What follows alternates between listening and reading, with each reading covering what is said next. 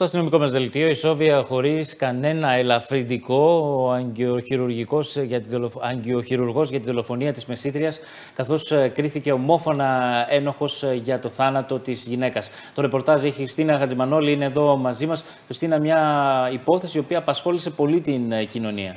Έτσι ακριβώς είναι Χρήστος. Σε ισόβια κάθυρξη καταδικάστηκε ο 39χρονο ε, ειδικευόμενος ε, αγκιοχειρούργος, ο οποίος ε, κάθισε στο έδωλιο του κατηγορουμένου για, το, για τη δολοφονία της 36χρονης Μεσίτριας, η οποία να θυμίσουμε ότι είχε εξαφανιστεί τον Απρίλιο του 2017 και η σωρός της βρέθηκε σε γκρεμό στο Παλιούρι Χαλκιδικής. Οι δικαστές έκριναν ομόφωνα ένοχο τον κατηγορούμενο για ανθρωποκτονία διαπαραλήψεως με ενδεχόμενο δόλο, αλλά και για περιήβρηση νεκρού ε, καθώς ε, δεν πίστηκαν ε, από την απολογία του ότι ε, ο θάνατος της γυναίκας επήλθε από ιατρικό λάθος, Χρήστο. Επιπλέον, να σου πω ότι το δικαστήριο, όπως τόνισες πολύ σωστά, αποφάσισε να μην χορηγήσεις στον κατηγορούμενο ούτε ένα ελαφρυντικό. Μάλιστα, επέβαλε την ποινή, όπως είπα, της ισόβιας κάθυρξης, αλλά και δύο χρόνια επιπλέον φυλάκιση για την περιήβρηση νεκρού.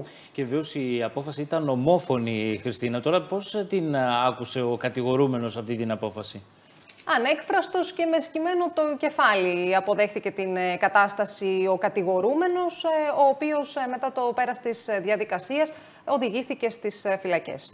Και να, να, θυμίσουμε λίγο ποια είναι το, ποιο είναι το περιστατικό αυτό, το οποίο όπως είπα και στην αρχή είχε απασχολήσει πολύ την κοινωνία, αλλά και το νομικό κόσμο.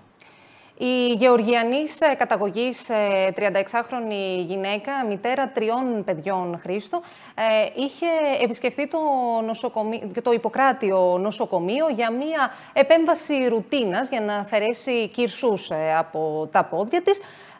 Ο 39χρονος την οδήγησε σε ένα εγκαταλελειμμένο μέρος, της χορήγησε δύο ε, φάρμακα, τα αναισθητικά φάρμακα, τα οποία όπως τόνισαν όλοι όσοι βρέθηκαν στη, στη δίκη και κατέθεσαν, ε, δεν ε, χρειάζονταν για αυτή την επέμβαση, η οποία όπως είπα ήταν επέμβαση ρουτίνας.